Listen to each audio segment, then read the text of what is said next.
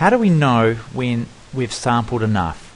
It's all very well, we'll do five trials, everything will be fine. But that's not the real world. So what we've got to do is to sample enough that we trust our average. How do we know we trust it? It's stopped fluctuating.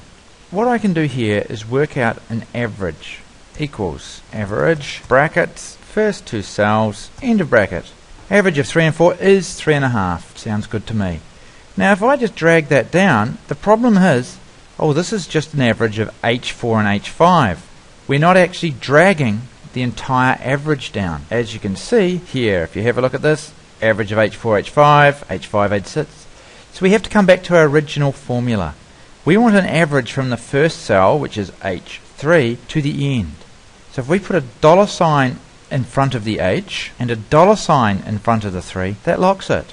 Still the same average. But now, as we move down, the average is from H3 to H8. It's correct. So we can drag this down. We should see our average becoming more stable. We'll probably need more samples. But by using the dollar sign, we've now locked in an average. We can now quickly graph this.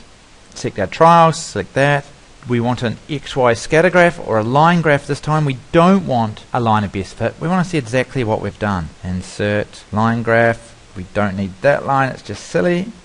After 18 trials, we've fluctuated.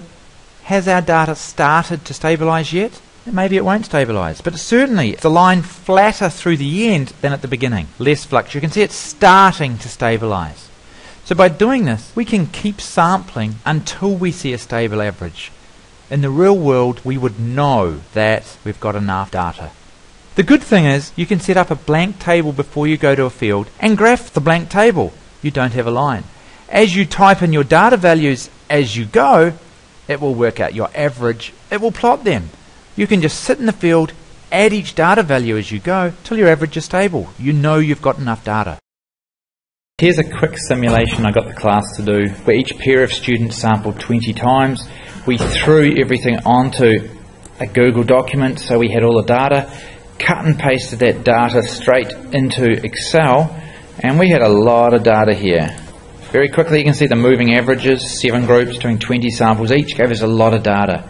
As we did that, we then made a quick graph, and you can really see here big fluctuations in the average first, becoming more stable. You can see all four lines in the simulation took different amounts of time to become stable. It actually depended on the distribution pattern of the organism. So there is no easy maths way to say, I have enough samples. You need to graph it because the time it takes to become stable is dependent on how they're distributed. These were evenly distributed, these were random, these guys were in clumps, and these guys were just around waterways. That would be how we make sure we sample enough times to collect meaningful data.